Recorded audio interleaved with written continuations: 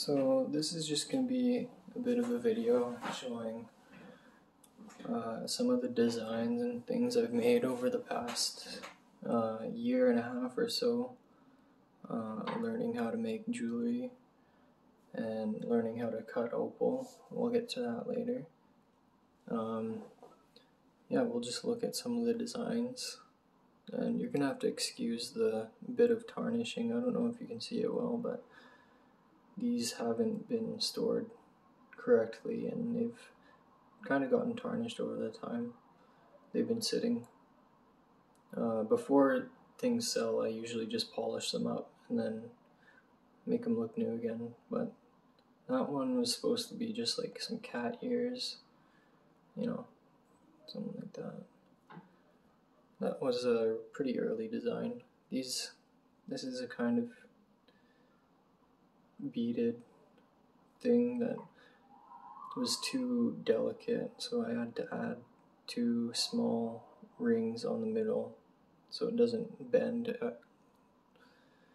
Uh, here's one that was kind of just a test of skills. Uh, these are mostly separate pieces, so like that outer square is a separate piece, inner square is a separate piece, this is a separate piece. So it was a lot of soldering and it came out like really nicely. I'm actually really surprised with that one. Uh, and yeah, these mostly on the left are earlier creations I made. So here's just a bit of a ring uh, chain link ring type thing. It's kind of cool, but it's hard. You can't get it flat because one of them will be will be off always. One of the links will be going the wrong way, and I didn't realize that when I was making it. Here's just a braided ring. Pretty pretty heavy. It's like a thumb thumb ring. And then here's another, where is it? Uh, I had a thinner braided ring. See, this is this is a bit thinner, but that's not the small one I was looking for. Oh, there it is. See, this is just a thin braided ring, sort of flattened. That one's that one's pretty cool. It's like a little pinky ring.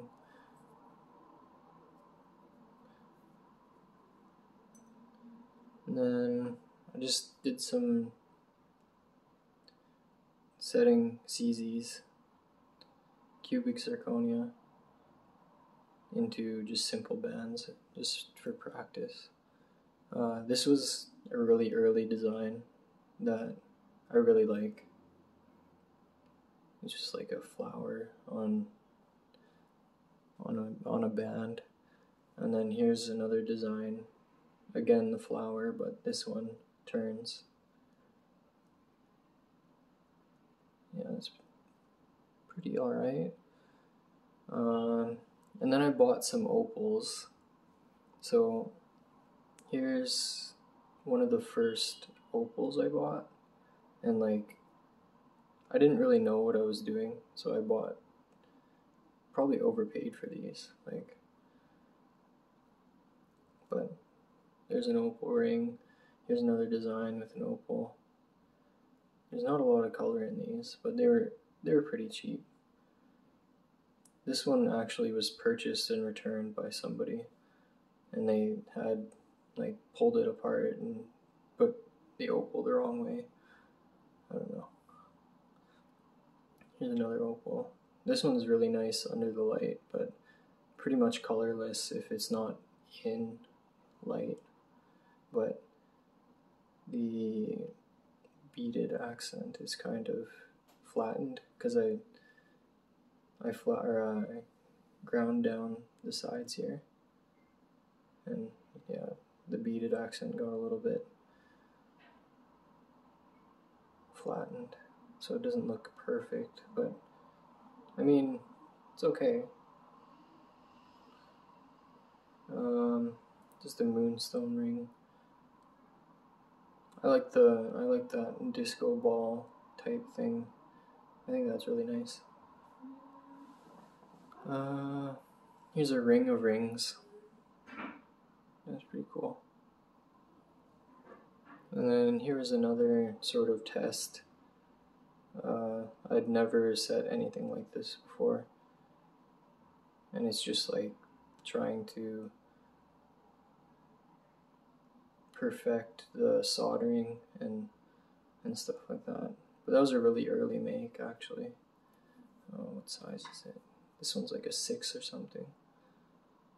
I think it's kind of cool, but you know, it's a little bit pointy.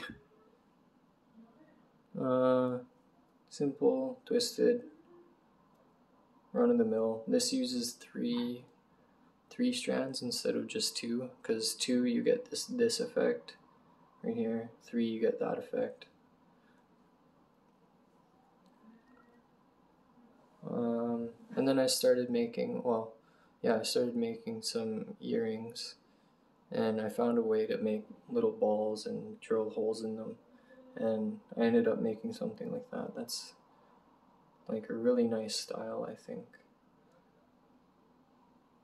But it's a little bit tarnished, and that was the first one I made, so it was a little bit rough, like the details are not perfect. But these these two. Oh sh.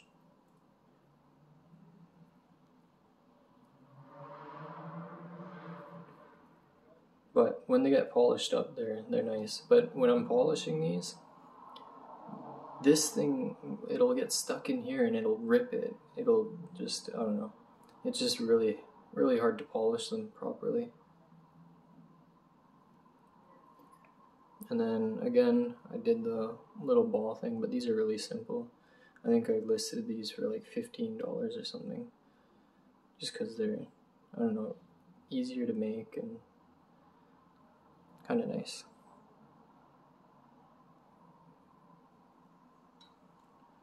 And here's some opal stuff. I bought I bought these opals. These are solid Coober Pedys and I made a lot of earrings with those. And yeah, all of those earrings I think sold except for one pair. And then here's an opal that I cut. Um, and set. I've gotten a lot better at it at this point. Bezel setting is not the easiest thing to do.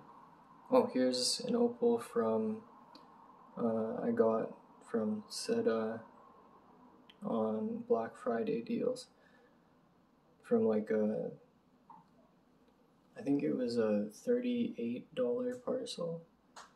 And well I mean this stone is pretty nice. This light doesn't do very well but it's got a pit right there. There's a, yeah, and I set it in double, double round band.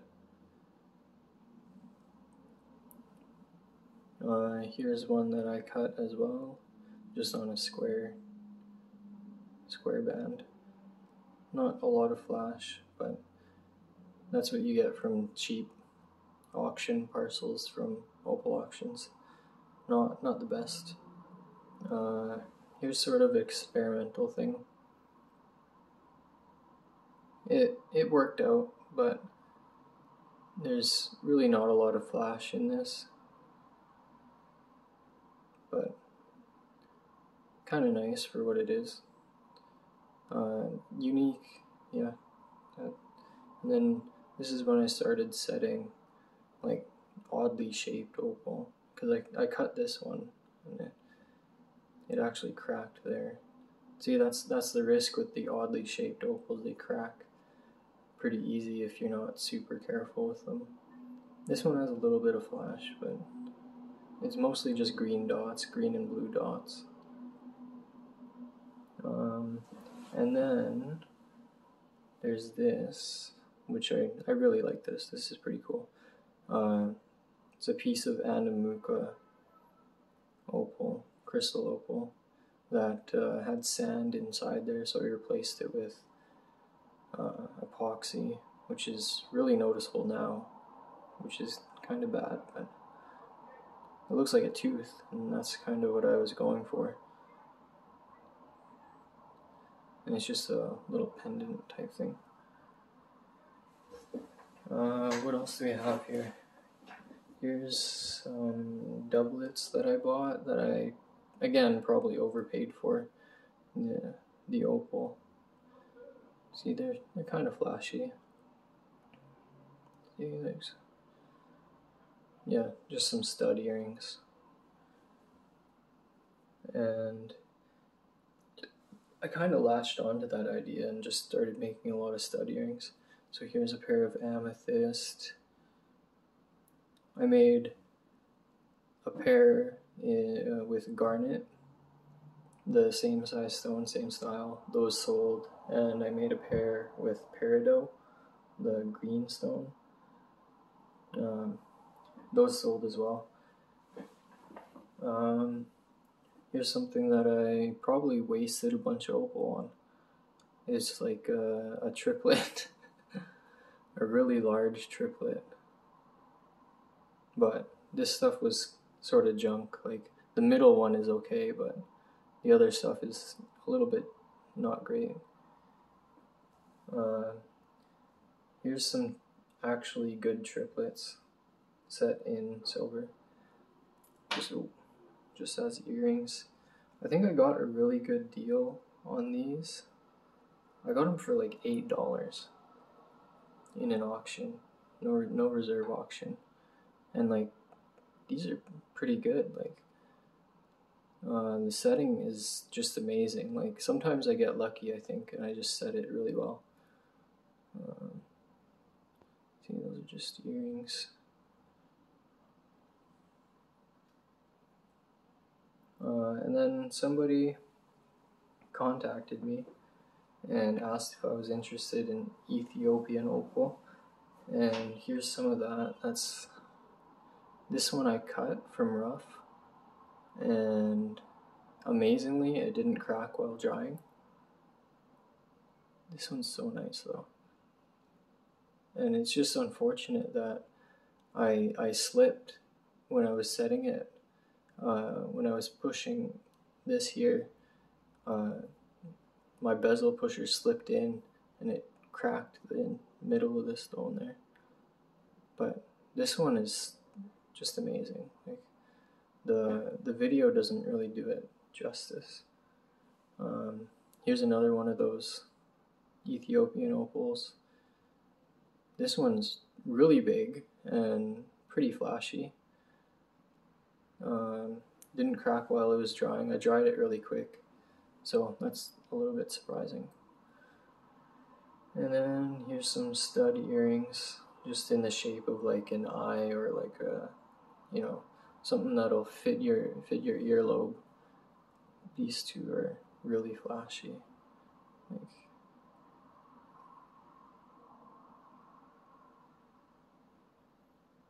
Yeah, it's amazing the color you can get for how cheap Ethiopian opal is.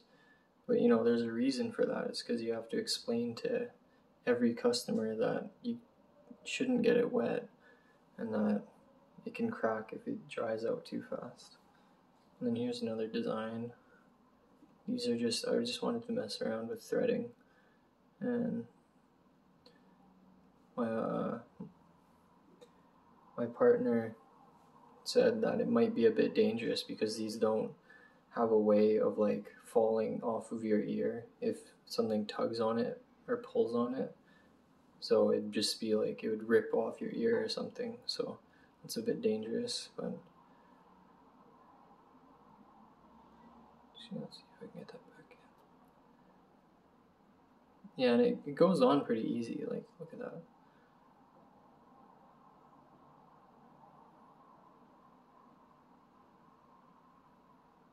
And they're pretty stylish, you know. I would wear those. Maybe not. If I had pierced ears. I don't think so. here's an earlier design. And here's an older logo stamp. And these took a while to make. These took a long time to make and I don't I don't think they're the best design, but I think $20 is a pretty good deal. Here's something with a bit of uh, opal. You got the gold filled uh, twisted exterior. Somebody said it looks kind of like a flower, and then the opal center, which is really nice. I like that. Um, oh yeah, these are some studs again with opal doublets. And these ones I'm pretty proud of. I like this design. I'm kind of surprised they haven't sold yet. Um, yeah. And then here's some of the opal I've cut. Like uh, number one is, or one to three are doublets. I've been told that, that this is someone's favorite, even though I think this one, I really like this one, but some of these are pretty flashy, like number 11. Number 11 has some really nice flash. Well, depending on how you look at it. Number 8's really large, but just a light pinfire. Number 4 is like a prism. It's got a little bit of flash. 6 and 7 are Ethiopian. Number 6 is way more flashy than 7. These are supposed to be a matching pair, but number 6 is just too bright for to set them both as like a pair of earrings. And number 9 is actually kind of nice under the right light, but I don't know if you can see it there. Yeah, it's got the rolling rolling flashes, I think what they call it. And yeah, that's about it.